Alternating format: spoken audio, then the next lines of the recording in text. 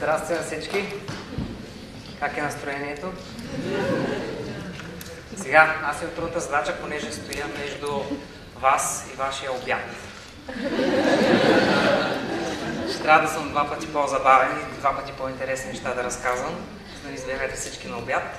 Ще си говорим за Lean Startup. Колко от вас са чували за Lean Startup? Добре, супер.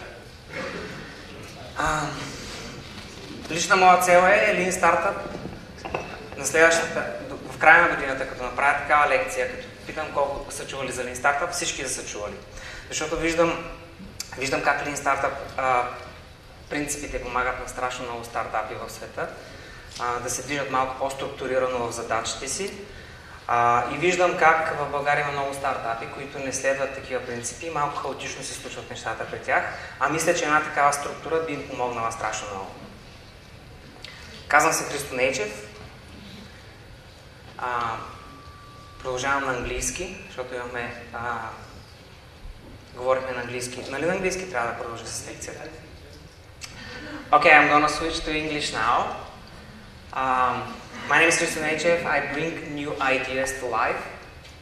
That's my specialty. I've been in four different industries. I've been through three startups.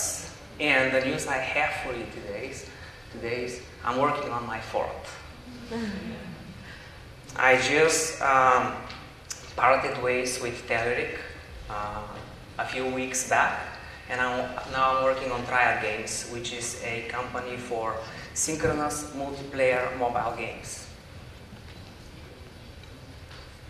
Question for everybody. What's the most resilient virus in the world? The idea. What else? Passion. What else? Habits. Good one. What else? Okay, I'm here to talk about the idea. Ideas are really cool because all great things start with an idea, right? However, ideas are cheap. Not in the bad way, but everybody has tens of thousands of ideas. Yet, uh, what's really complex here is the execution. So if I have one dollar and I give you one dollar, we both leave this room having one dollar each, right? And if I have one idea and we both exchange ideas, we all leave the room having two ideas. Four, 16, 256, and you, you can see how this grows. Six, six steps later, I'm gonna have uh, unlimited number of ideas. But you can really truly focus on executing only one idea. Theodore, uh, who spoke uh, like two lectures earlier, um, gave a very, very good example of all leading technologies and all ideas you can, uh, all areas where you can search for ideas for your for a new startup. And just listening to his lecture, I got like 500 new ideas in my in my head for new businesses. The problem is you can always focus only on one idea. If you want to execute it right, execute it fast, you can focus only on one idea at a time. And if I'm gonna put all my effort in, in one idea, I want to execute as fast and as correct as possible. How many of you have seen the Inception movie? Awesome. How many of you liked it? Awesome. Even the smallest seed of an idea can grow. It can grow to define you or to destroy you. So we live and die by our ideas. And if we live to work on an idea, let's work on it in the fastest and in the best way possible. All these companies were ideas once. All of them. And now they're, they're huge companies. But what makes a bright idea a successful business? Work. Good team. Good team. What else? Sorry? Created value? Yes. Sacrifice. Sacrifices. Perseverance. Perseverance. also. Now, before we move to answering the question, let's, for, let's face it that actually the path does not look like this, right? It looks like that. And it takes perseverance, effort, great team, everything you said. Time, resources, funding, people. Now the key thing here of every entrepreneur, so let's say each and every one of you chooses one idea to work on. The key thing is how to minimize the resources you spend. Hmm. Make it happen with less resources, less people, less funding, and most importantly, less time, smaller time investment. Because you can always make more money, but you cannot make more time. And your life is limited. And if it takes you three years to, to validate, or to work on one idea, for the next 60 years, you can work only on 20 ideas. And I already have 500 just by listening to Theodore. And I have maybe 5,000 more. And in my whole life, I can work on no more than 20 ideas. But what if I can reduce these three years? Few, three months, three days, three hours, three minutes. This is what Lean Startup is about. Lean Startup, the, the Lean Startup is a book written by Eric Ries, which is a, a, summary of the Lean Startup thinking. It's a good starting reading maybe in this area. But it's also a philosophy, a movement, um, a way of thinking, a religion, if you will. And lean, everybody knows what's lean, nimble, fast, agile. Startup is a human institution that is focused on creating something in a situation, in conditions of extreme uncertainty. So two key things are present for, uh, for uh, endeavor to be considered a startup. You have to create something out of nothing, and there should be extreme uncertainty about it. If you are building a house, you are creating something, but there is no ex- extreme uncertainty about it because you're using methods that are already proven. When you're creating a startup, you can create a startup around a well-known idea, a well uh, proven business model, and then you don't have extreme uncertainty. You don't need necessarily, you don't need to apply lean startup principles. But in most cases, in 99% of the startups I mentor and I work with, there is extreme uncertainty. You don't know what's going to happen, you don't know if somebody will like your idea, you don't know if you can create a business around it. So there's a lot of extreme uncertainty there. And in this situation,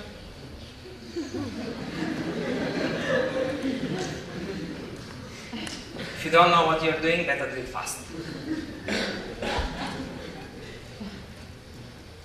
Don't spend five years to, to see if anybody is interested in your idea.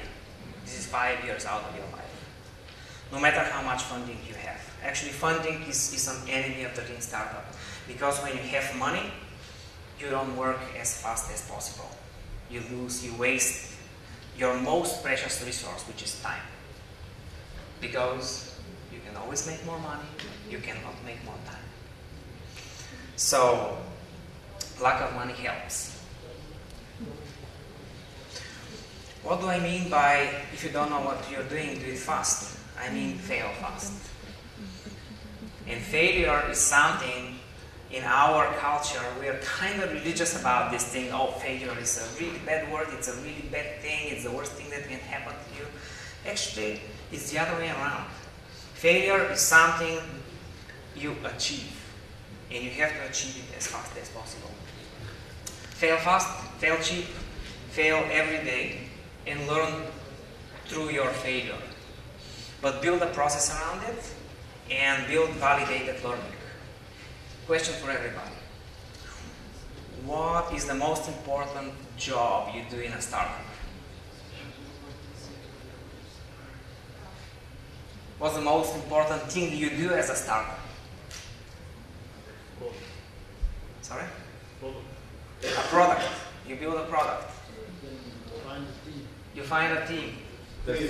You fail. It's a good one. What else? Learn. Who said learn?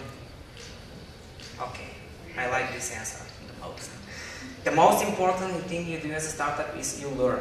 Of course, you create a product, but big companies also create products. Everybody creates a product. Um, you gather a team, of course, you need a team. But the most important thing in the first year, in the, in the first two years of your startup, is learning. It's all about what you learn. And this positions you in a very good situation to execute later on.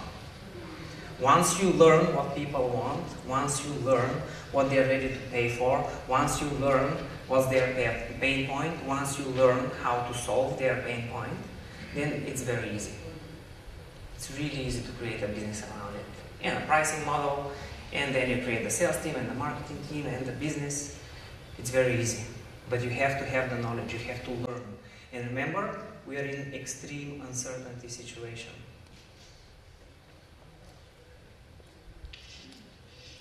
In other words, when you play darts, how many of you guys here play darts? Yeah, and personally, I rarely hit the bullseye, but this never stopped me from playing. And every time I miss the bullseye, I fail. But I don't go religious about it, and I don't, you know, kill myself over it.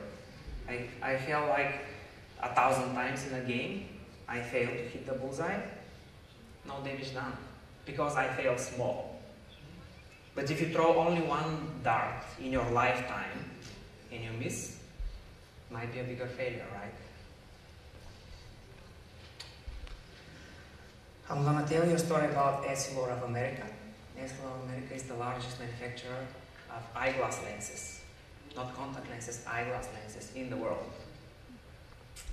I was responsible for new product launches at Essilor America, the US headquarters, it's uh, located in Dallas. Um, we have, they have now, I'm not already, I'm not with them already, right?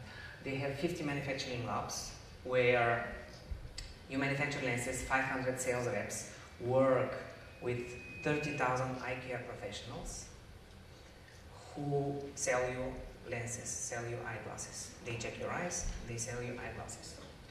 And roughly 55% of the population on Earth needs visual correction.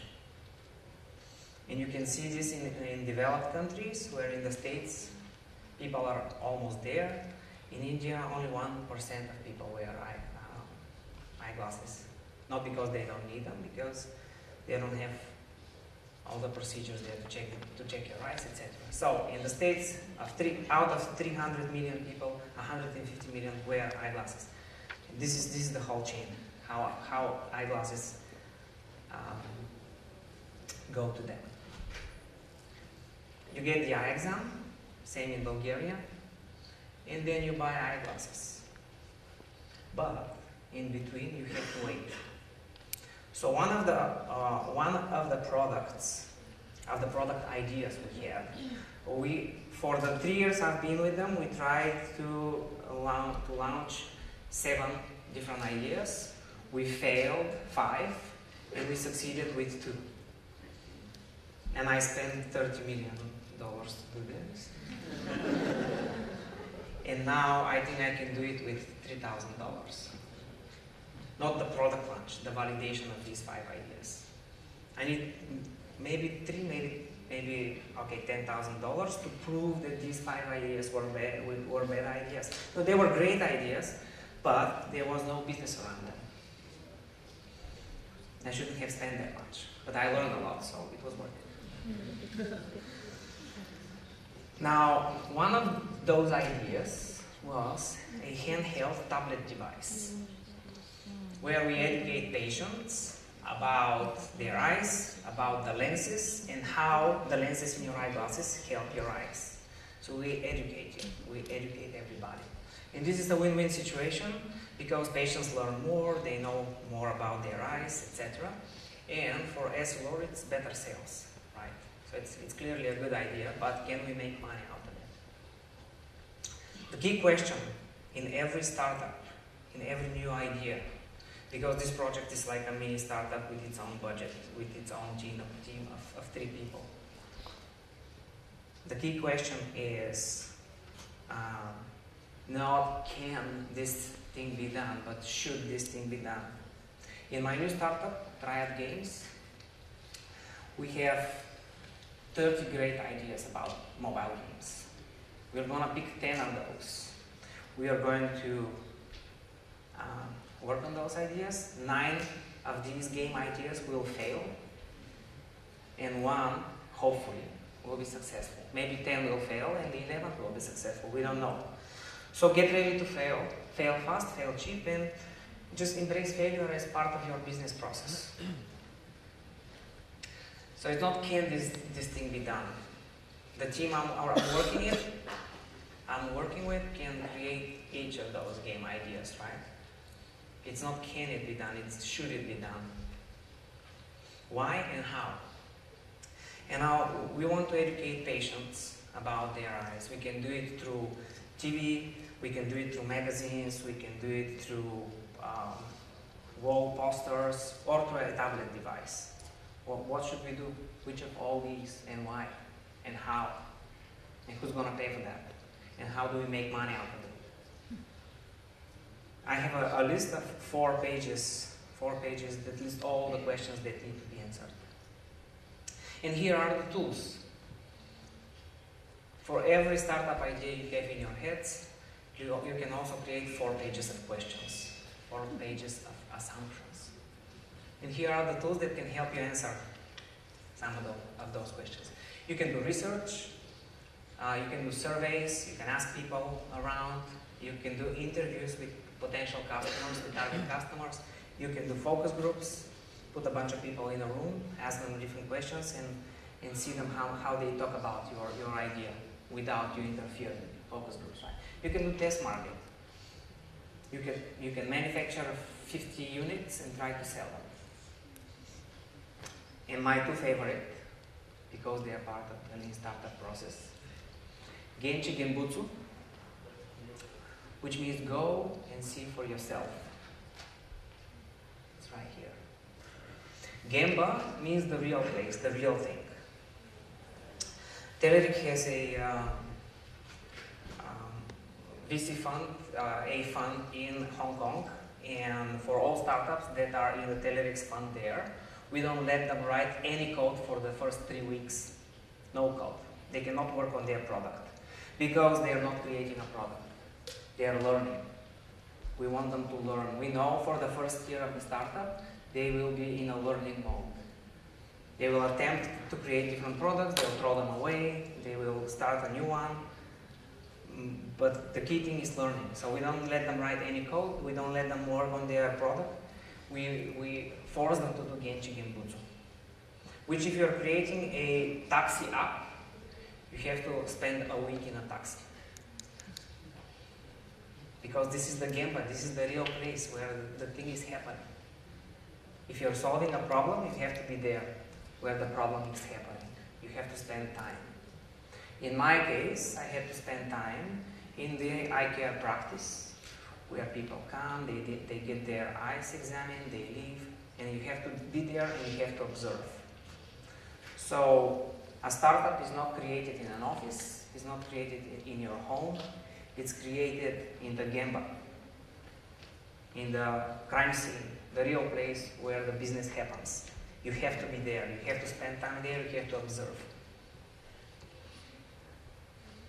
And my other favorite tool you have is the experiment.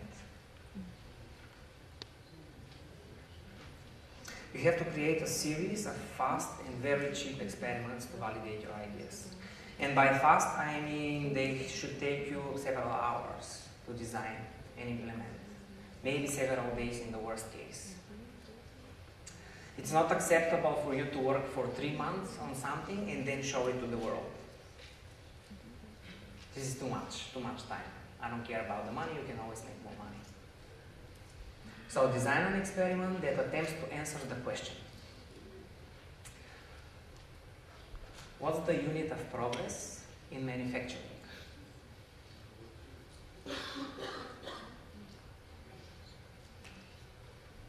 You have a big manufacturing facility, how do you measure progress? How do you measure that things are going well?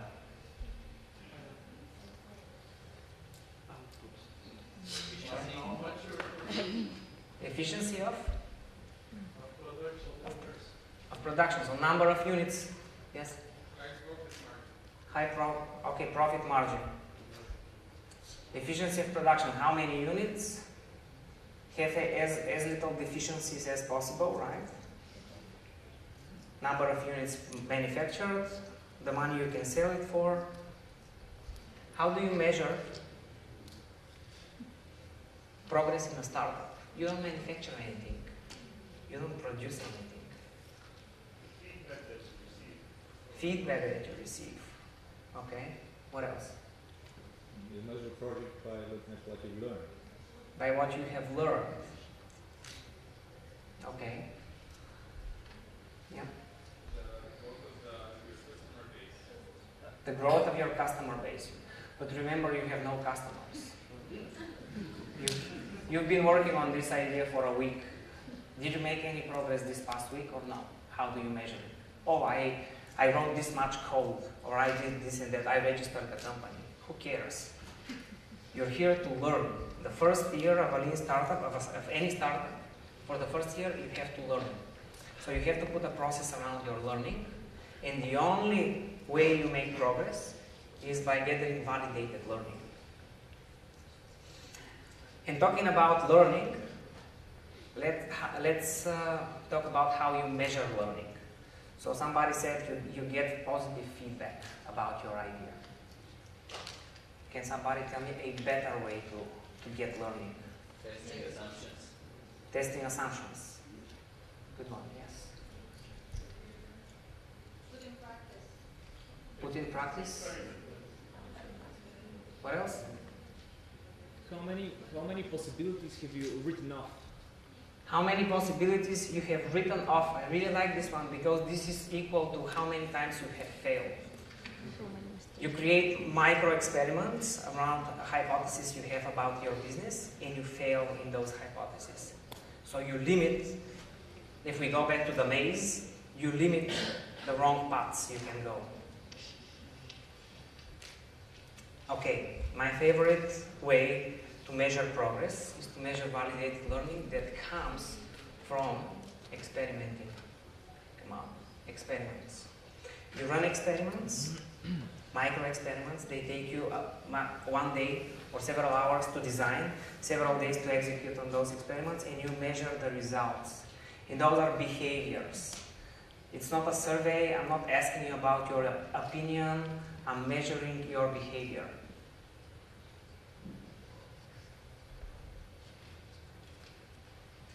The whole process of creating things. So, first step, idea generation. Together, we generate many ideas, then we do idea screening. So we screen the bad ideas out and we zero in on one idea. Then, feature specification. We write all the features we want to have in our product. Everything that needs to go in. Development. We get several millions of uh, VC funding. We hire 10 developers to work on this idea. We work on the idea, right? And then we do testing. It works as expected. Then we launch it, commercialization. We launch the product. And then evaluation. Then the world comes, looks at your idea, and says, This idea is stupid, I don't like it, I'm not gonna buy it. And we just spent 10 million of VC money. We spent three years of our lives and of the lives of, of 10 developers we hired. Why? For no reason. Something nobody likes. This process gives you only one shot, only one dart throw at a 2080, I, I'll, I'll even say 1090 game. We all know that 90% of startups fail, right? Why? Because they uh, operate in extreme uncertainty. Like this is the, the DNA of a startup, extreme uncertainty. And when there's extreme uncertainty, of course, 90% of the cases we will fail. And this process gives me one shot. For three years, five years, I'm gonna have one shot at a 10% chance. I want for, for three years, I want to have 3,000 shots. And in startup, in the startup world, we have to succeed only once, right? Okay. In the end, you create something nobody wants. Why? Because the, eva- the evaluation step is so much late, so late in the process. You create something nobody wants. Build it and they will come, just doesn't work.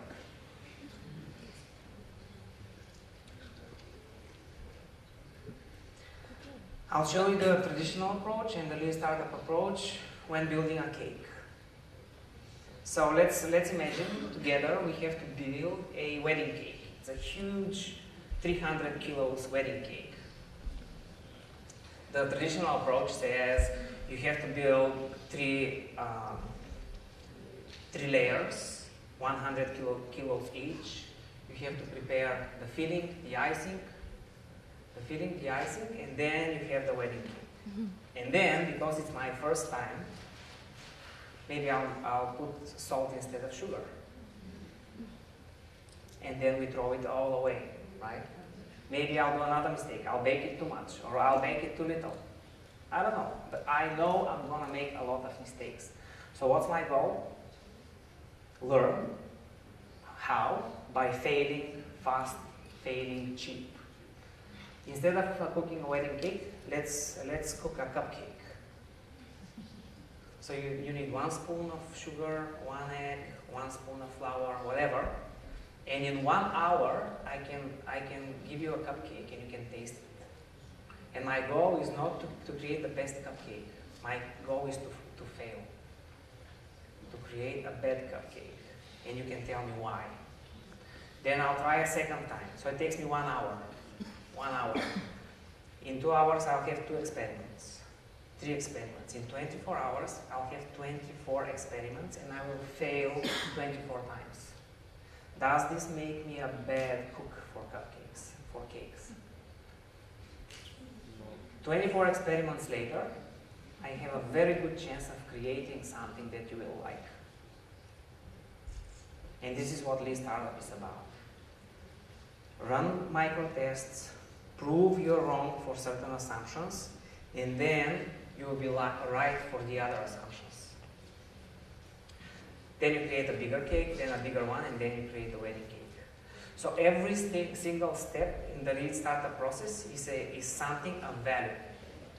And, and you just go in this circle. You build something, you measure if people like it, if people use it, if people eat it in this case, and then you learn. It's the build, measure, learn cycle. And you grow bigger and bigger and bigger. And your V1 product or your official product is just another experiment. Because one year later you will improve it. Like the all, all the cameras. You get a really nice camera, and then next year you have a better model, and next year you have a better better model. So you don't solve the problem once and for all. You keep working, you keep validating. Why I really like this process and why I push this process in all companies, big companies I work I worked for, and why I push it for all startups I manage and all startups I mentor. Because it's very fast and very cheap. It gives me multiple shots at a 10% gain. Multiple shots, which is key. This first attempt is called an MVP, which is minimum, which is a minimal viable product. It's minimum yet viable. It's in between all the viable products, which at some point get very expensive, require too much time and money. And on the lower end, you have the minimum products. And here you have all the, all the crappy products nobody wants. So in right in between, something that requires as little effort and time as possible, but is still viable, still delivers some value. This is the Dropbox definition of an MVP. Any additional work beyond what was required to start learning is waste, no matter how, how good it looks at the time. So the first thing you have to you have to know in a startup is what do I want to learn. The second question is how do I learn it? Let me design an experiment around it and learn it. And in many cases, for the first three months or six months in your startup, Software startup, you don't write any code because you don't need to. Do you need to write code to learn? If yes, then do it. But in most cases, you can start learning without writing code, without creating a product. And once you learn what people want, what people need, what people are ready to buy, but how do you learn it? You don't ask them. This is not a survey. It's an experiment. You have to track behavior. You have to measure behavior, not opinion. This is key between experiment and a survey.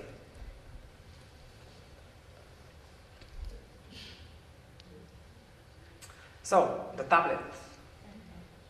Back to the tablets. This was not the first MVP of the tablet. This was it. As ugly as possible. And this was MVP 5. Why? Because I, need, I didn't need a tablet to learn what was necessary to learn for MVP 1. MVP 1 was a simple slide deck. A simple slide deck that you show people and you use it to validate two key hypotheses. If these hypotheses are wrong, if you receive negative validation, then you don't even need a tablet.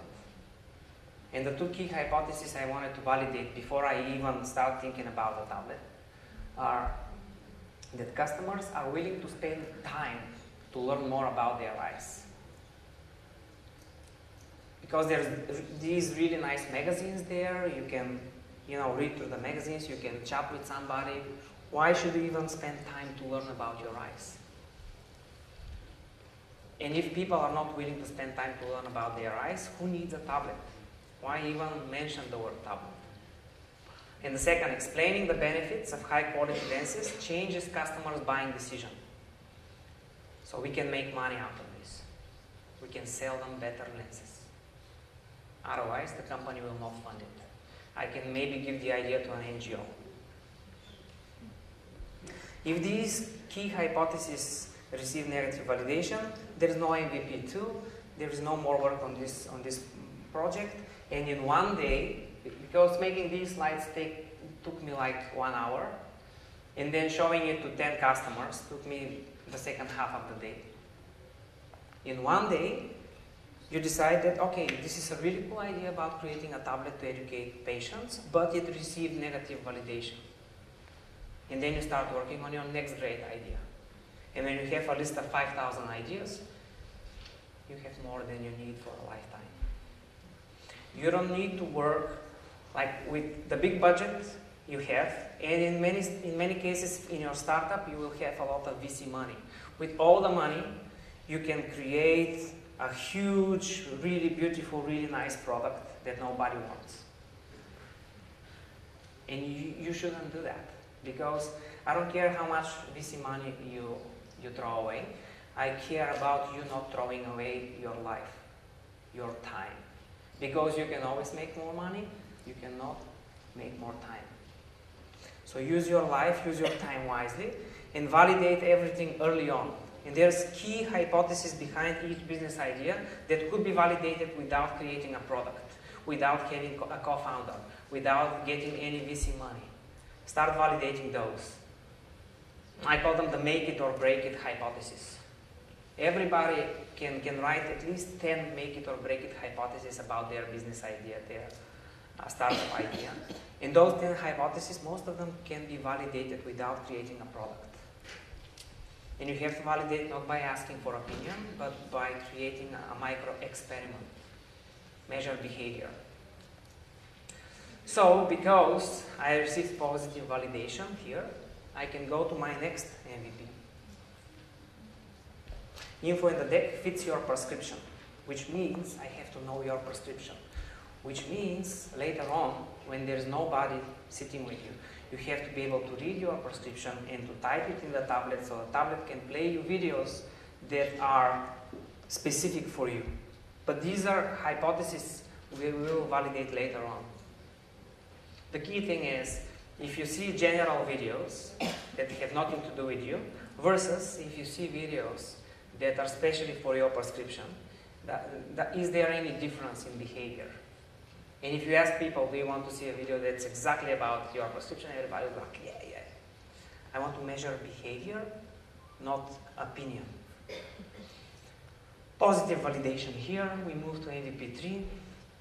Now, what is the, the key flow of my first two MVPs? What assumption I did not measure at all?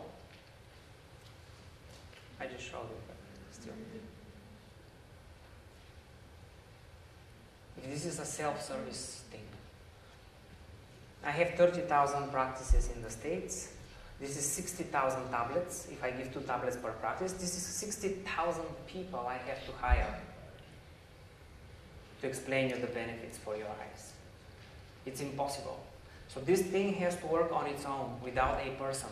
And I have not validated this hypothesis yet. So in MVP 3, I decided to validate exactly this hypothesis, self-service deck. There's no Christian nature to show you stuff. So I just placed the laptop there. Remember, we are building a tablet device and still we have no tablet. We have a laptop with PowerPoint. And we are building a tablet for playing videos. Why? Because you don't need to spend the money to buy a tablet to record videos. It's very easy when you when you have the money. It's very easy to spend it, but you also spend your life, spend your time. It will take me three months to hire an agency in New York, then record the videos, then put them on a tablet, and then people will will uh, look at those videos. And it's a waste of time and money. So a simple a simple deck, PowerPoint, an old laptop. That's all you need to validate these hypotheses then then PowerPoint is, is a good media, but will a video do any better than a PowerPoint presentation? And this is MVP 4. The assumption is that if you see a video, it's much more interactive, it's much better, it's, it's explaining a lot more, so you will understand a lot more about your vision and you will make a, a better decision for your purchase. This is a hypothesis. Again, who knows the answer? Nobody knows the answer. That's why you have to design an MVP, a micro test, to measure behavior and decide if this is true or not. MVP 5, put this video here, put it in a tablet. Of course, everybody wants to have the iPad, you want to have a really nice, cool tablet. The iPad was not invented back then. The iPhone, first iPhone just came out. So this was the tablet at the time. Put it in a tablet, measure behavior. What's the learning here? You have to build multiple MVPs. You have to validate one step at a time.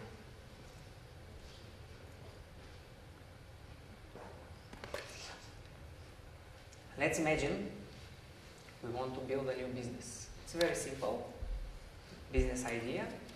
We want to uh, to deliver hairdressing services in your in your home. So somebody will come to my apartment. I'll get a haircut and they will leave. What's the first make it or break it hypothesis we have to validate?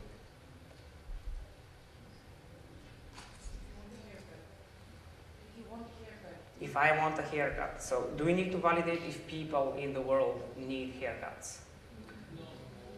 No, it's, a, it's not a hypothesis, it's a fact, okay? So what's the first hypothesis that's not a fact? Do you need that in your home? Do you need it at, at your home? Can you do it? Would people come to your home? Will people come? Will a hairdresser come to your home? Cool. If any of these hypotheses proves receives negative validation, then our business idea will not work. So we can start validating. How?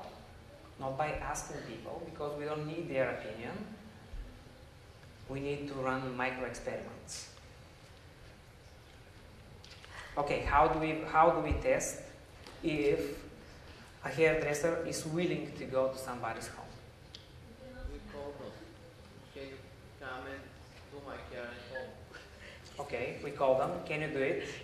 And when they say yes, we, we actually make them to do it, and they do it, and we pay them. And then we send them to three more houses of our friends, and we pay them again. And so let's pay, let's say we pay them 10, 10, 10 leva. So 40 leva and four experiments later, we have partial validation of this assumption that a person is willing to go.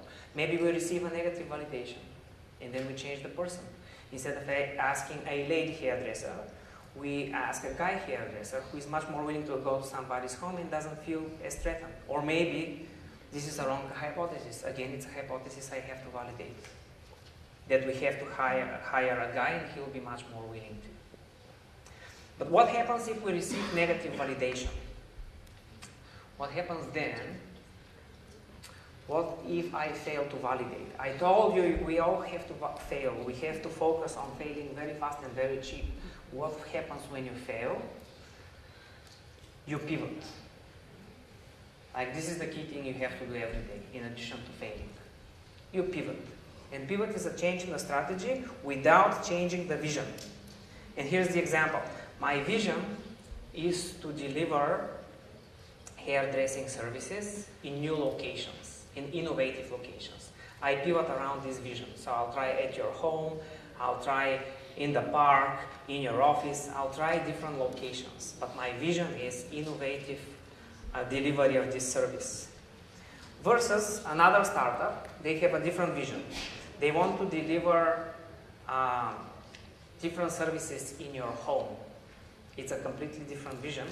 Also, although they try with hairdressing services as well. But then what, what is potential pivot for them?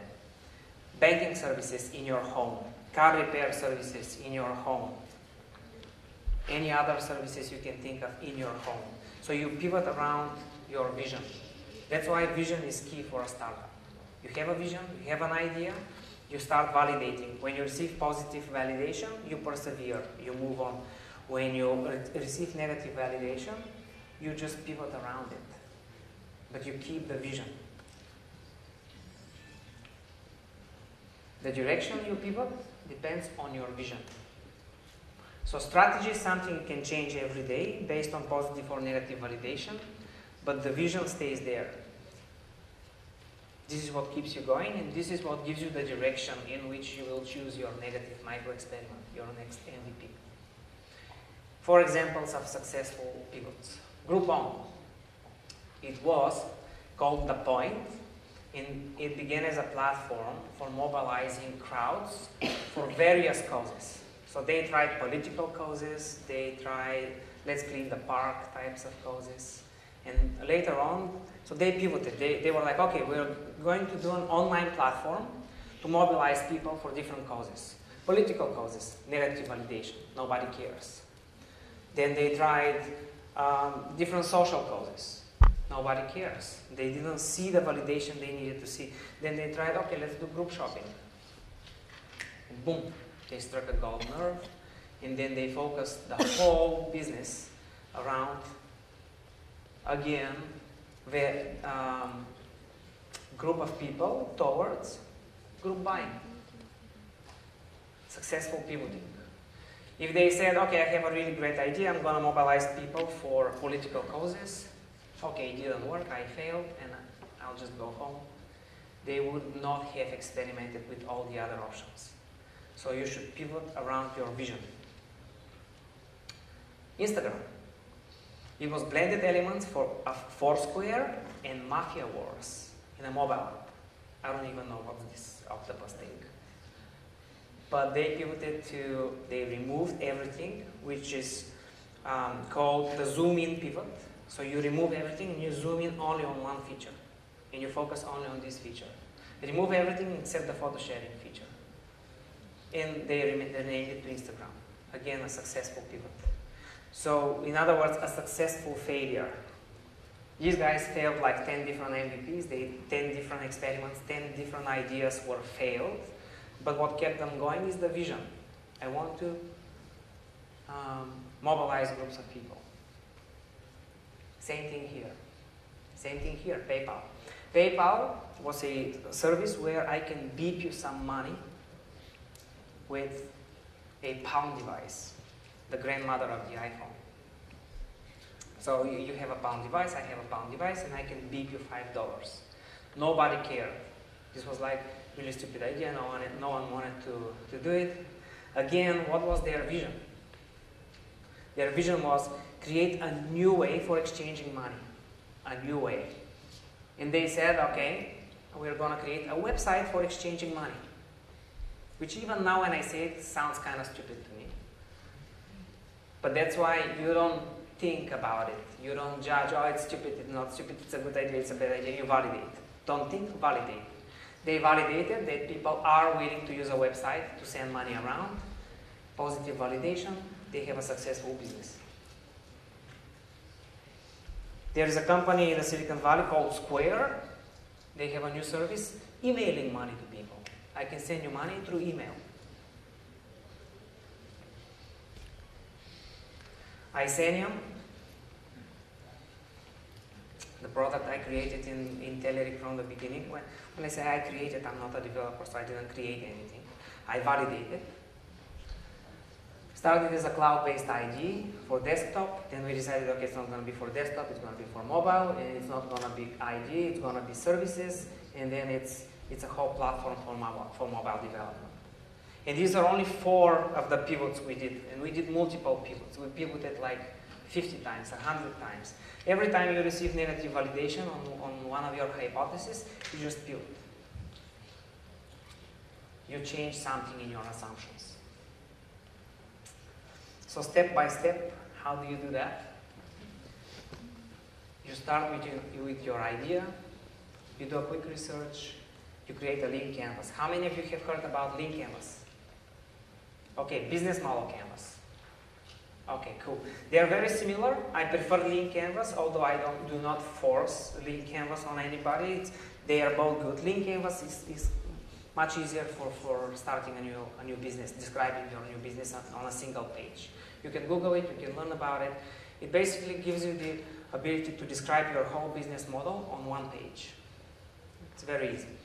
Once you have your business model, you can write all your hypotheses. Hypothesis 1, 2, 3, 4, 5, 10, 4 pages of hypotheses. And then you build them in the so-called hypothesis tree, because some of the hypotheses, some of the assumptions uh, depend on other, on other assumptions.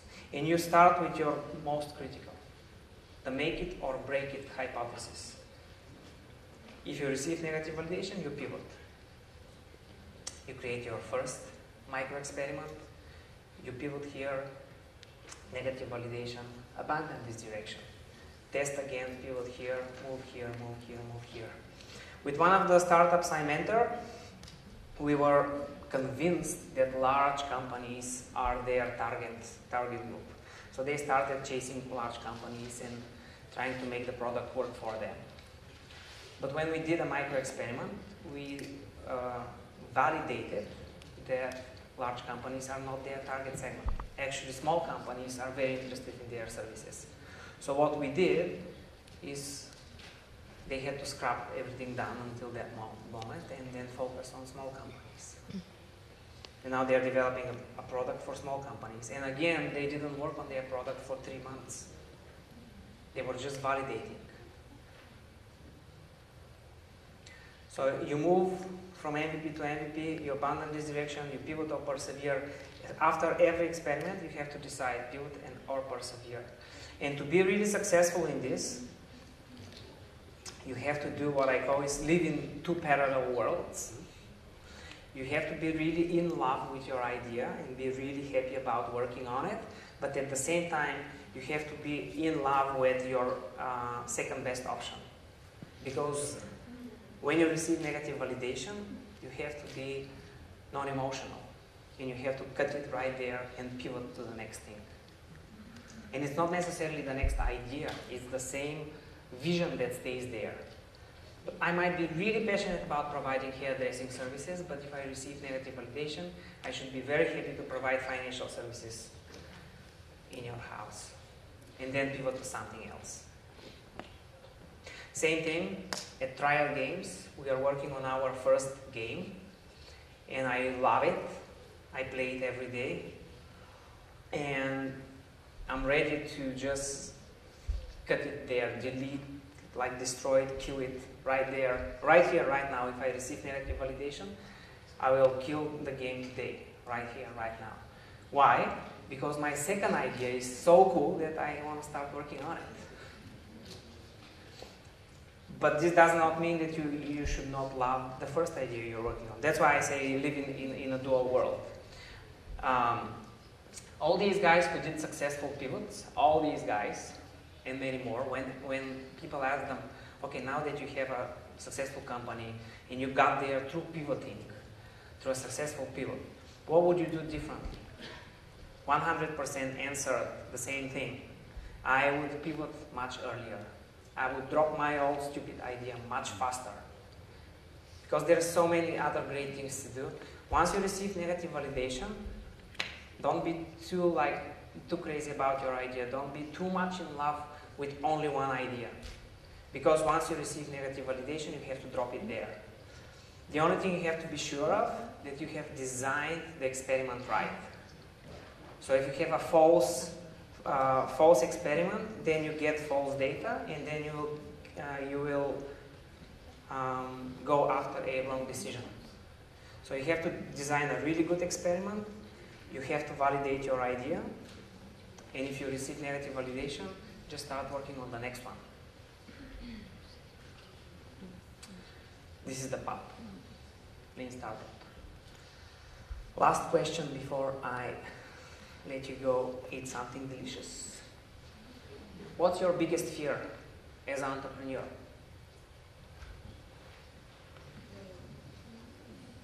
What? Failure. Okay. What else? Not learning. Not learning. What else? How to find the balance between uh, should you go on or should you uh, keep this idea and if the experiment that you've done is giving you the result that you, I mean the right result. Because the experiment and the result can be misleading and you can skip something and go in different direction. I will rephrase this. What worries you is did I design this experiment well enough so I can trust the results I get? Sure. What else? Waste of time. The wa- waste of time. And I have listed my some of my fears here. No money to, to move on, no time, no good ideas, no motivation, no co-founder, etc., etc. But these are not real threats to you. The real threat is creating the wrong thing. Because it's like a black hole. You put all your money, all your time, your co-founder's life, your family's lives and time and beliefs, your motivation, your good ideas, you put everything in the wrong thing.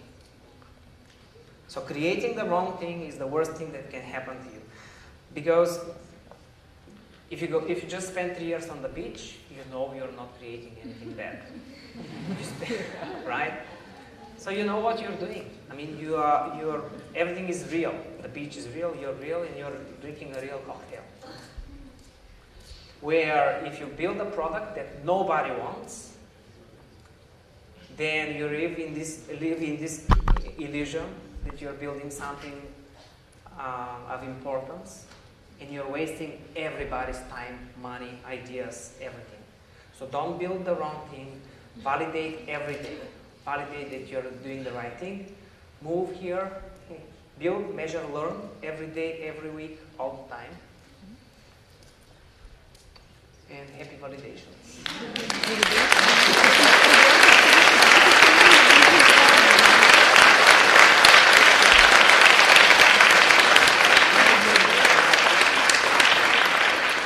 благодарим на Христо Нейчев за тази изключително интерактивна, провокираща и интересна реч. И нека време мисля, че публиката да ви провокира, няма само вие да задавате въпроси. Така че нека погледнем. Много са въпросите и на български, и на английски. Ам, така че да започнем от някъде. How to create a tech startup without the knowledge to code, even though the idea is there? Много хубав въпрос, аз много бих се интересувал. How to create a tech startup without knowledge to code. The easiest way is get a uh, technical co-founder. and uh, here I'll just uh, say something about knowing and not knowing your industry. Many VCs say people should be customers of their own product, so you should know the industry, you should feel the pain point, but there's also value in the opposite. And I can say this from my experience with the uh, architectural startup I did before Triad Games. I did nothing about architecture, so I had to validate everything. while, while my architectural co-founder, he knew architectural thinking very well, and he was like, "Oh, I know this is, I know that this is so, and this is so, and this is so." And for some of those uh, hypotheses, he might have been wrong because I knew nothing about architectural design. I had I had to validate everything from zero. So this helped me actually um, not run into negative validation or false positive uh, traps. So sometimes not having the tech skills is good for creating a technical startup as long as you have a technical co-founder who can move the technical things, things and you can validate everything, you can challenge. So in this situation, if you're creating a business, technical or not, when you're not very good with the industry, don't worry about it. This helps you validate even more. So don't play it, oh, I don't know, I, I know nothing about this. Just play the other role, which is nobody knows anything about this business. That's why it's a startup. That's why it's extreme uncertainty. Let's validate. Много се радвам, много ме удовлетворява този отговор. И понеже а, всички ние малко или много се страхуваме да се проваляме, какво бихте отговорили на failure hater? People in Eastern Europe don't like Oh, sorry. Did I failing. How, how to help startups from this region to embrace failing? To, to embrace failing. How to help people embrace failing? Well, the easiest, it's, it's an expensive way to do, but if you, in December, I was in San Francisco to a New Year's party of one of the investors, and everybody there was rich, but nobody talked about their current business. Nobody talked about, uh, nobody talked about how rich they are. Everybody was bragging about how many startups they failed. Everybody was like, "Oh, I failed three startups like that." Let me tell them about my, my biggest mistake that we did with this with this startup. So failure is something they embrace there and they brag about, because when you have a successful success is not is not an interesting story. Failure is a, is a really nice story. But the, the, this is the more expensive way, right? Go there to a party and you will see that people value failure. Um, another way to do it is just think about think about VCs. VCs want to to invest in experienced entrepreneurs, and behind experienced means you have failed something. Uh, this is this also helps embrace embrace failure. And the other thing is just talk about failure every day and don't fear it. Don't fear it. Maybe in your startups or in your future startups, you can create a practice where when you meet with people, you can discuss what was done right this past week, but you can also talk about, okay, what was our biggest fa- failure this past week, and just laugh over it. This is also a good, good thing to do. Благодарим за изчерпателния отговор и виждам още един много интересен въпрос. Бих искал малко леко да го префразирам. Кое е по-важно, идеята или, или а, реализацията на идеята? If the execution of one idea is perfect, does this make the idea good or the execution is or the idea is more important? Idea or execution? Execution is much more important than the idea because you will change your idea like 10 times in a month. You will pivot a lot. You start thinking that, okay, I'm going to do this thing here, but then you receive negative validation, or even if you don't do it in the lean startup way, you just people just tell you they don't like this, this idea exactly the way you describe it, so you just pivot. Even, even Facebook was going to be a social media for universities only. And now it's not for universities only. So the idea to have something for universities only, is it good or bad? I think the execution was good. Execution is much more important than the idea. The idea is just the spark, but it does not create the whole fire. So when do we understand we are ready for the market and we don't know, don't need more validation? When we were saying we need no more validation of a certain way when it's ready for the market, there is no stage at which you need no more validation. Yeah, there is a stage where people are ready to give you money for your idea, and this is when you go to market. But this doesn't mean you will stop validating. You keep working on your idea, adding new features, making it better, getting to the next version, the GoPro camera, GoPro 1, GoPro 2, GoPro 3, whatever, right? You always make something better and better and better and better, and you always have to validate.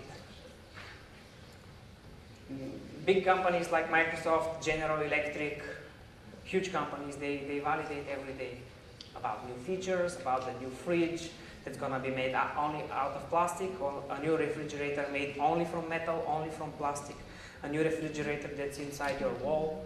They have to validate these ideas. Same thing for Toyota guys I met, I, met in San Francisco. They were validating different features for the navigation system.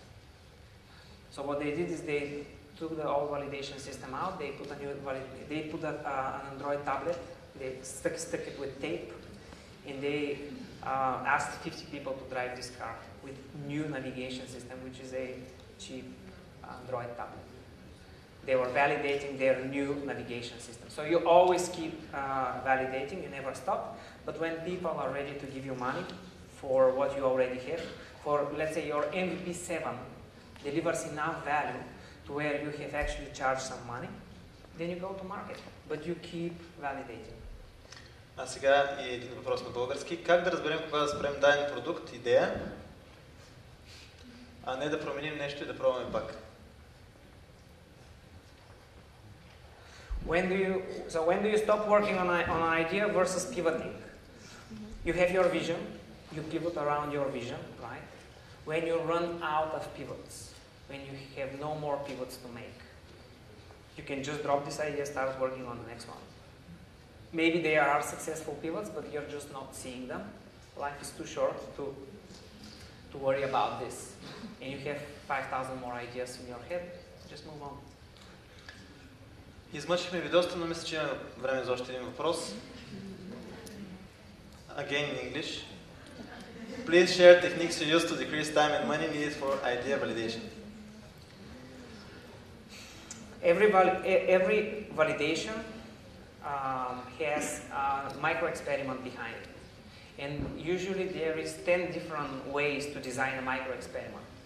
You can call 100 people, or you can email 100 people, or you can not do any of this and do something smaller or something bigger. So every micro experiment takes some of your time and sometimes some of your money. So when you design an experiment, don't rush for the first experiment that comes to mind, but write down three, four, five different micro experiments and pick the cheapest one. And when I say cheapest, I mean cheap in, in terms of time expenditure, not money. Много благодарим. Виждам, че няма въпрос, на който може, не може да отговорите. Също да зададе. Така че мисля, че трябва да пристъпим към следващата част. Даването на грамотата.